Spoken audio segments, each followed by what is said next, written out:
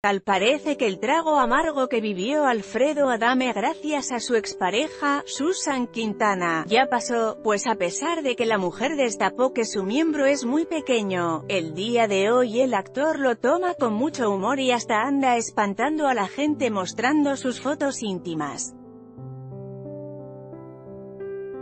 Durante una entrevista en el programa de Generaciones con Maca Carriedo y Alan Thatcher, Alfredo Adame habló, muy quitado de la pena, sobre su miembro. Incluso, contó que gracias a su galanura fue escogido en el pasado para modelar ropa interior masculina, y gracias a mí, inventaron la versión reforzada frontal, alardeó. Como los conductores no le creían del todo su orgullosa virilidad, Alfredo Adame demostró que ya iba muy bien preparado para la ocasión y mostró algunas fotos íntimas de su galería, una chica del público huyó despavorida tras verla instantánea. Incluso, Maca Carriedo le puso a escasos centímetros de la cara su foto, por lo que aterrorizada se quitó de donde estaba y dijo eh, pero no me la pongas en la cara. Y hay otra, ¿quieren ver? dijo Alfredo Adame y la enseñó a las cámaras de rapidito.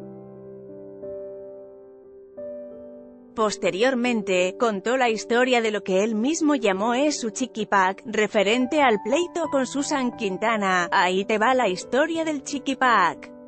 ¿Cómo fue? En un momento, cuando nos conocimos por Face, pues se puso caliente la cosa y me dijo te mando fotos mías desnuda. Se pone caliente la cosa, uno responde y entonces me dice mándame tuyas y le mando dos fotos, estaba yo en el gimnasio. Ese teléfono se quedó en su casa y luego me empezó a chantajear con que las iba a sacar y también una conversación de cibersexo.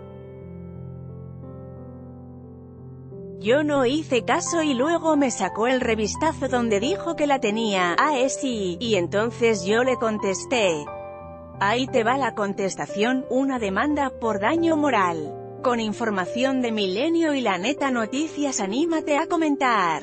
Queremos saber tu opinión. Comentarios Powered by Facebook Comments.